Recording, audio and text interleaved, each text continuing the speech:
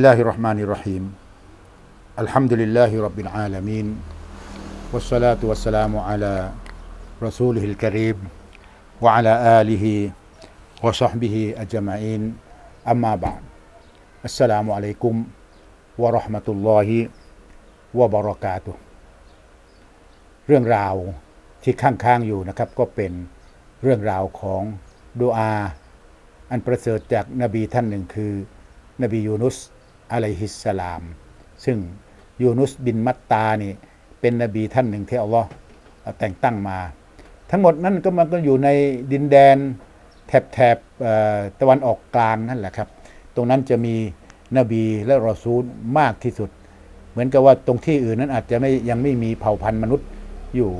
สักเท่าไหร่นะครับ เพราะตามประวัติแล้วบอกว่าอาดัมกับฮาวาลงมาครั้งแรกแถบๆนั้นนะครับฮาวา ลงมาที่ยิดดะแล้วก็อาดัมก็ลงมาในแถบตรงไหนก็ไม่ทราบ เป็นเรื่องเล่ากาวนะครับ และก็ทั้งหมดก็ไปเจอกันตรงที่อารอฟะคือทุ่งอารอฟะนั่นเอง แล้วก็เริ่มแพร่ขยายเผ่าพันธุ์มนุษย์ ณดินแดนนั้นก็มีลูกมากมายจนกระทั่งเต็มโลกไปหมดอาดัมอิดริสนัวฮุซอและ แต่อาดัมมาถึงนัวนั้นพันกว่าปีนะครับฮูดฮูดนี่เป็นเผ่าอาหรับนะครับจนกระทั่งเรื่อยมาเรื่อยมา ก็กลับไปที่นบียูนุสอะลัยฮิสสลาม ก็เล่าเป็นข้อความเดิมนิดนึงว่า นบียูนุสเนี่ยเมื่อถูกแต่งตั้งมาครั้งแรก ก็มาหาเผ่าพันธุ์ของตนอยู่กับแวดวงที่เป็นหมู่บ้านของตน แต่เป็นที่น่าประหลาด ใจนะครับ ทั้งทั้งที่เป็นศาสนทูตของอัลลอฮ์พูดแล้ว คนไม่เชื่อ คนไม่ฟัง คนไม่เอาดื้อต่อต้าน ต่อต้าน ยูนุสก็ไม่ลดละสอน บอกทุกสิ่งทุกอย่าง จนกระทั่งท้ายที่สุด ผู้คนก็ เออ เริ่ม ใจอ่อน แต่ท่านไม่ลดละจากการสั่งสอนของพวกเขาแต่อพยพตัวเองหนีพวกท่านไม่เอาฉันฉันก็ไปแล้ว ก็หนีออกจากหมู่บ้านนั้นชาวบ้านว่ากลับมาเถอะฉันเชื่อแล้ว ฉันเอาไม่เอาไปละ พวกท่านไม่ต้องการฉันก็ไม่อยู่ ตรงนี้จึงเป็นความผิดอย่างหนึ่ง ความผิดมหันด้วย เมื่อยูนุสออกไปก็ไปโดยสารเรือ คนก็เห็นว่าเป็นคนดีก็ให้โดยสารเจ้าของเรือให้โดยสาร แต่ปรากฏว่าเรือนั้นเพียบครับ เพียบก็ต้องกุระจับฉลาก จับฉลากตรงนี้ไม่ใช่พนันนะครับ จับฉลากว่าใครโดนฉลากที่ต้องโดด สละเรือเพื่อให้ที่เหลือ รอดชีวิตก็ต้อง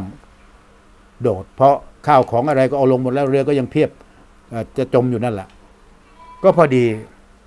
ยูนุสไปจับฉลากโดนที่โดนรายชื่อ หรือส่วนที่จะต้องสละเรือ ท่านก็รักษาคำพูดก็โดดลงจากเรือ แต่ปรากฏว่าโดดลงจากเรือแล้วเข้าไปในท้องปลาตัวใหญ่ฮูดก็คือปลาตัวใหญ่คำว่าฮูดในภาษาอาหรับนะครับ แต่ก็เอามาใช้กันไม่ใช่เรียกปลาตัวใหญ่ปลาวานอย่างเดียวเป็น ปลาเล็ก ๆ ที่เรารับประทานกันนี่ก็เรียกว่าฮูดเหมือนกัน อย่างก็เช่นเช่นเรื่องของนบีมูซาก็ฮูดที่ทำตากแห้งมาแล้ว พอไปถึงโขดหินนอนหลับอัลลอฮ์ก็ให้ปลานั้นได้รับสายน้ำมีชีวิตฟื้นว่ายลงทะเลไป ก็ฮูดเหมือนกัน แต่ไม่ใช่ฮูดตัวใหญ่ๆมหึมานั้นก็เป็นปลาที่ทำอาหารนี่แหละแต่ปลานบียูนุสนี่เป็นปลาวานใหญ่ปลาวานปลาตัวใหญ่อะ ก็ไม่ได้ระบุชัดว่าปลาอะไรแต่ฮูดฟัลตะก็มาหุลฮูดปลาได้เขมือบเขาไป ไปอยู่ในความมืดสามชั้นเลยทีเดียว ถามว่าในความนึกคิดของเราเนี่ยรอดไหมเนี่ย มืดจากความมืด มืดจากความมืดของท้องทะเล มืดกระเพาะปลาโอ้โห ไม่มีทางเลย แต่อัลลอฮ์ได้กำชับ สั่งปลา สั่งกระเพาะปลาว่า อย่าหลั่งสารน้ำย่อยมาก้ำกลายร่างของยูนุส ยูนุสจึงอยู่ในสภาพที่ไม่ถูกย่อย อยู่ในกระเพาะปลาเหมือนดักแด้ เหมือนตัวอ่อนนะแต่ไม่ได้ย่อยสลาย เพราะไม่มีอากาศหายใจไม่มีแสงแดดให้เห็น ก็อยู่อย่างนั้นแต่ ท่านอ่านดูอาซิกรุลลอไม่ได้กล่าวขอดูอา แต่ซิกรุลลอสุบฮานักอินนี้กุนตุมินัตดอลิมีนก่อนอื่นก็บอกว่าละอิลาฮะอิลลัลลอฮก็เป็นที่เข้าใจเป็นกะลิมอชฮาดะอันแรกละอิลาฮะอิสบาตอิลลัลลอฮเอ่อละอิลาฮะเป็นนัฟإلا الله เป็น إثبات ท่านที่เรียนภาษาก็คงจะรู้แต่ไม่ได้เรียนภาษาก็คงจะยากนิด เพราะปฏิเสธ แล้วก็เอาเหลือไว้เอาคงไว้ نفي وإثبات ต้องมีครบ อย่างเดียวก็ใช้ไม่ได้لا إله ไม่มีพระเจ้าไม่มีพระเจ้าใช้ไม่ได้ ต้องلا إله إلا الله نفي وإثبات เสร็จแล้วท่านก็อ่านต้นนี้อัลลอฮ์ทรงได้ยินทรงรู้นะครับلا إله إلا أنت سبحانك إني كنت من الظالمين คนที่วิกฤตคนที่เจ็บป่วยคนที่เดือดร้อนตกทุกข์เดียให้อ่านซิกรุลลอฮ์ต้นนี้กึ่งกึ่งดูอานะครับ ก็จะได้รับ พระเมตตาจากอัลลอฮ์ سبحانه وتعالى เป็นเคล็ดลับนะครับ เป็นحكمة จำให้ดีครับلا إله إلا الله سبحانك إني كنت من الظالمين เป็นดุอาเป็น ذكر الله ของนบียูนุส عليه السلام เพราะนั้นหลังละหมาดทุกวักตูเราก็อ่านذكر الله ต้นนี้ เราก็ขอดุอาเป็นการประกอบกันนะครับلا إله إلا أنت سبحانك إني كنت من الظالمين หลังจากนั้นครับ ปลาซึ่งในท้องมีนบียูนุสอยู่ก็ได้เรียบเคียงมาชายฝั่งแล้วก็สำรอก นบียูนุส ขึ้นชายฝั่ง ลูกคลื่นก็ซัด เพราะปลาใหญ่มันจะเข้ามาติดผืนดินไม่ได้ น้ำซึ่งเป็นลูกคลื่นก็ซัดร่างของนบียูนุสซึ่งน้ำทะเลนั้นมันก็มี ขึ้นแล้วก็มีลงใช่ไหมอตอนขึ้นก็พาไปไกลชายฝั่งพอตอนลงก็ติดค้างอยู่บนชายฝั่งอัลลอฮ์ก็เมตตา เพราะร่างเหมือนเด็กแด่มานอนค้างอยู่ท่ามกลาง อันตรายของสัตว์ร้าย อันตรายของฝูงแมลง ที่จะมาทำอันตรายอัลลอฮ์ก็เมตตาให้อัมบัตนาอะไรฮิซอยรตุมมียักตีน ให้มีต้นพืช เถาเลื้อย ใบใหญ่งอกมาคุม ก็ไม่รู้ว่าตามรายงานไอ้ต้นพืชเถาเลื้อยใบใหญ่นี่ ฟักทองก็ใบใหญ่ แตงโมใบไม่ใหญ่เท่าไหร่ น่าจะเป็นฟักทองเหมือนกันนะ หรือน้ำเต้าวัลลอฮฺอาลัมก็ระยะหนึ่ง นบียูนุสอะลัยฮิสลาม ด้วยกับฟัตลิลละพระเมตตาของอัลลอฮ์ก็ฟื้นหาย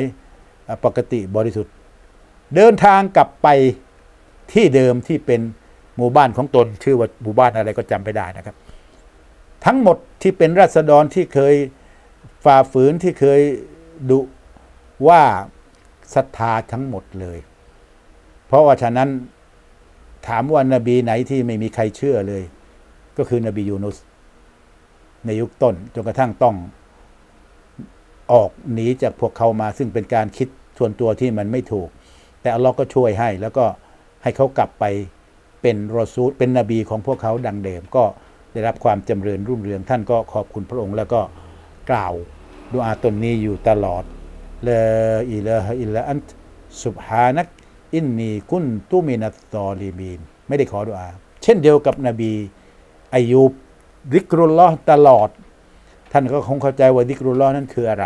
เราก็มักจะ ذكر الله กัน หลังละหมาดบ้างอะไรต่ออะไรทำนองนั้นแล้วก็หมดไปไม่ใช่ ذكر الله นี่ตลอดระยะเวลาที่ท่านว่าง ท่านก็สามารถจะ ذكر الله ได้ سبحان الله الحمد لله لا إله إلا الله الله أكبرยามว่างนะครับเดี๋ยวว่าว่างไม่รู้จะทำอะไร ก็ซิกรุลลอฮ์นะครับจะเห็นได้บางคนที่เป็นชาวอาหรับนั้นถือลูกสเบหรือลูกตัสเบียประจำมือแสดงว่าซิกรุลลอฮ์ประจำแต่ว่าจะซิกรุลลอฮ์ประจำหรือไม่วัลลอฮฺอาลัมางทีก็เป็นแฟชั่นอย่างหนึ่งเหมือนกัน ถือลูกสเบหแต่ว่าไปเดินอยู่แถวแถวซอยนานาเนี่ยมันก็คงไม่ใช่ละอีกข้างหนึ่งลูกสะแบะอีกข้างหนึ่งนาง อันนี้ก็ก็เป็นการเห็นภาพที่มันสวนทางกันนะครับ ก็คงจะไม่ค่อยดีสักเท่าไหร่นะครับ ท่านพี่น้องครับ ชีวิตของคนเราที่เป็นมุสลิมนั้นต้องขึ้นอยู่กับการผูกมัดจิตใจนะครับ การผูกมัดจิตใจนี่เราเรียกเป็นภาษาพระศาสนาตามหลักว่าอากีดะก็คืออีหมานนั่นเอง คือเตาฮีดนั่นเอง แต่ว่ามักจะติดปากกันด้วยคำว่าอากีดะบางครูก็พูดกันมาเป็นศตวรรษพูดจนกระทั่งตายไปแล้วก็มีอากีดะเพราะมันไม่จบครับ ต้องพลิกฟื้นกันอยู่ตลอด ต้องนำเรื่องราวมาประกอบตลอดให้มองเห็น แต่นั่นแหละครับ ใจคนครับ มันอยู่ทามถ้ำกลางสิ่งแวดล้อม ที่ไม่ใช่ไม่ค่อยจะโปร่งใส ชาวมักกะละหมาดนะแปลกไหมไม่แปลก เพราะสิ่งแวดล้อมบรรยากาศมันบีบอยู่งั้น แต่คนที่ไม่มีใบตุลลอคนที่อยู่ในเมืองที่เต็มไปด้วยชิริก เต็มไปด้วยกุฟตเต็มไปด้วยสิ่งแปลกเปื้อน เขายังบวชเขายังละหมาด เขายังเป็นคนดีได้ นี่คือหน้าแปลก ได้ยินมากับหูครับาบางรายที่เป็นผู้เดินทางจากชาวอาหรับบอกว่าแปลกจัง บ้านเมืองอย่างนี้ที่อย่างนี้ยังมีคนทำการถือศีลอด ยังมีคนการทำการละหมาด ยังมีเสียงอาจารย์ให้ดีนี่เข้าใจว่าเมืองที่มืดครึมอย่างนี้อาจจะไม่มีเสียงอย่างนี้ไม่ใช่ครับ กับมีไปทุกสารทิศของมุสลิมที่อยู่มีมัสยิดมีอาจารย์แต่ก็มักจะแคบลงมาแล้วนะครับ ถูกร้องเรียนจากการอ่านกุรอานจากการ อาจารย์จากการกล่าวปราศัยหรือคุตบะว่าเป็นเสียงที่ไปทำลายความสงบของชุมชน เพราะนั้นมัสยิดที่ทำการอาจารย์อยู่แล้วทำการละหมาดดังอยู่แล้วก็จำเป็นต้องลดเสียงลงมา ก็วัลลอฮุอาลามูบิสวาบแต่บางครั้งที่เป็นความเลวร้ายก็คือที่ร้องเรียนนั้น มุสลิมด้วยกันด้วยซ้ำไป อย่างนี้เป็นต้นนะครับ การรบกวนกันก็ เป็นสิ่งหนึ่งที่เป็นอ,อันตรายต่อกัน ก็จะต้องให้ความสันติสุข ให้ความร่มเย็นร่วมกัน เพราะฉะนั้นที่ถูกร้องเรียนนั้นเป็นไปตามสิทธิไหมอนอกเหนือเวลาหรือเป็นสิ่งสมควรที่จะร้องเรียนไหม และที่ทำไปนั้นมันสมควรที่จะกระทำไหมหรือมันดังจนกระทั่งดินสะเทือนนะครับ เหมือนกับบางทีจะทำงานบางอย่างก็ไปเช่า เครื่องเสียงที่ ดังแบบหัวใจแทบจะลงไปกองอยู่กับหัวแม่เท้าเลยทีเดียวอะนั่นมันก็เกินไปครับอ่ามันก็เกินไปมากเกินไปก็ถูกร้องเรียนเป็นเรื่องธรรมดาครับ ครับพี่น้องที่เคารพในเรื่องราวของอิสลามก็มีอีกเยอะมากมายที่จะนำเสนอให้กับพี่น้อง เพื่อเป็นกระจกเป็นแสงสว่าง ช่วยปรุงแต่งช่วยทำให้สีสันของมุสลิมมันเข้มข้นขึ้น จะได้ไม่ถูกละลายหรือ กลมกลืนหายไปกับเหมือนกับเกลือโดนน้ำนะครับ มุสลิมก็คือมุสลิม แต่เรื่องความเข้มงวดเข้มข้นของตัวเองนั้นก็จะต้องรักษาไว้นะครับ อย่าให้มันสูญหายไปเพราะเดี๋ยวมันจะเหลือแต่เพียงชื่อความเป็นมุสลิมพอไปดูผลงานที่เป็นชิ้นโบแดง หายังไม่ได้เลยอย่างนี้เป็นต้นนะครับเเรื่องที่เราจะต้องปฏิบัติก็คือเป็นไปตามหน้าที่เป็นไปตามวาระให้มันได้ส่วนไป ตามอัตภาพนะครับ แล้วก็เมื่อได้กับตนเองแล้วก็พยายามให้คนใกล้ชิดได้มาด้วยอยู่ในขบวนเดียวกันด้วยนะครับ ไม่ใช่บ้านใครบ้านมันบ้านเดียวคนละมุ้ง คนละหม้อคนละที่ไปก็คงไม่ใช่นะครับ เพราะมุสลิมนั้นมักจะต้องถูกเรียกว่าเป็นอุ้มมาตุนวาฮิดะตุนประชาชาติเดียวกันทั้งหมดอย่าได้เกิดความระสำระสายในการแตกแยกมันไม่ใช่เรื่องรับประทานนะครับ เรื่องรับประทานใครชอบกินข้าวก็รับประทานข้าว ชอบกินแป้งก็แป้งชอบกิน แต่เนื้อก็เนื้อชอบกินแต่ต้นพืชก็ว่ากันไป แต่นี่เรื่องศาสนาต้องเป็นหนึ่งเดียวกันนะครับ ตามหลักความเป็นจริง วันนี้ก็สมควรกับเวลานะครับ ต้องจากลาไปก่อนด้วยเนื้อหาสาระเพียงตรงนี้นะครับวะซัลลัลลอฮุอะลานบียินามฮัมมัดวะอะลาอาลีฮิวะซอบิฮิอัจมีนวัลฮัมดุลิลลาห์ มะตุลลอฮิวะบะเราะกาตุฮ์ที่จบไปแล้วเป็นอาจารย์อับดุลกอนีบุญมาเลิศผลิตรายการโดย สถานีวิทยุเสียงสันติ คลื่นความรู้สู่ผู้ศรัทธา สื่อบริการสาธารณะ สื่อที่ไม่มีโฆษณา ร่วมสนับสนุนการทำงานศาสนาได้ที่ ธนาคารกสิกรไทย เลขที่บัญชี 009 8493 999 ชื่อบัญชี วิทยุเสียงอิสลาม